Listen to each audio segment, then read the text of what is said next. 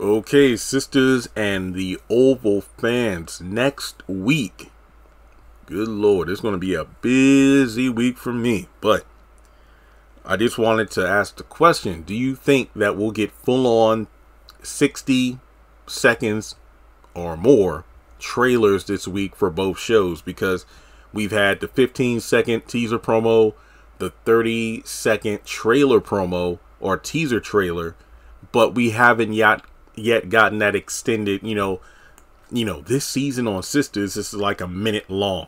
So, do you think we'll get them? Because to be honest, if we don't get them this week, I doubt we're going to get them at all. Um,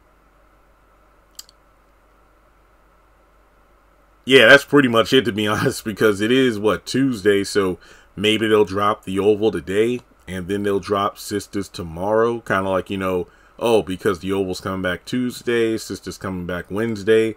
When it comes to House of Payne and Assisted Living, it's the Family Fun Night promo, so they just lump those together. So I don't think we're going to get any extended cuts of those.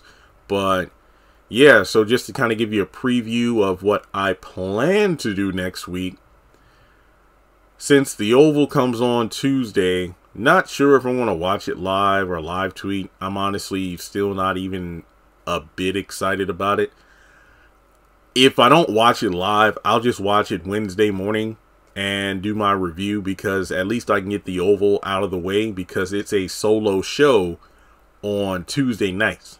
And then when it comes Wednesday morning, I can knock out the review.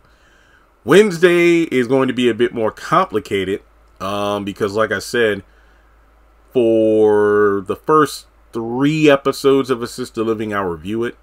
But I got two weeks of massive overlap because next week are episodes seven and eight of Zatima, and then the following week is nine and ten. And then the third week, that's you know, it's gone. So I don't have to worry about that anymore. But I'm going to have to be juggling six episodes or six reviews. The Oval, House of Payne, and Assisted Living. Now, those two alone aren't that difficult because they're only 20 minute episodes. And like I said, The Oval that's a solo show. I can take care of that Wednesday morning, no issue.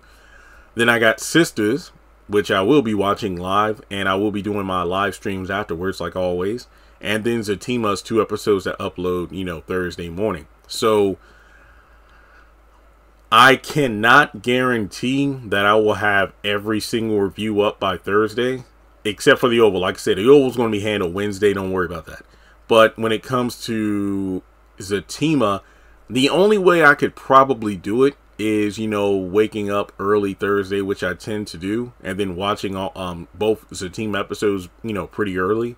Then I just spend the afternoon recording everything, and then I'll try to have everything up by that night. Now, that much I can do. So just know that um, next week and the following week is going to be a bit a bit hectic due to the Sistas Zatima overlap but then after that, uh, what what week is that? Um, basically, the last week of October is when things will finally kind of slow down. Where it's like Oval Tuesday night it comes on. Wednesday I'll knock out the review. I'll watch Sistas live on Wednesday night, and then either you know Thursday morning I could like binge quickly through House of Payne and Sister Living, get those out of the way, and that will be that. So, and if Assisted Living views don't do well leading into October that will be past episode three. Then it'll just be Oval, House of Payne, Sistas, and that's it. So I'm good with that.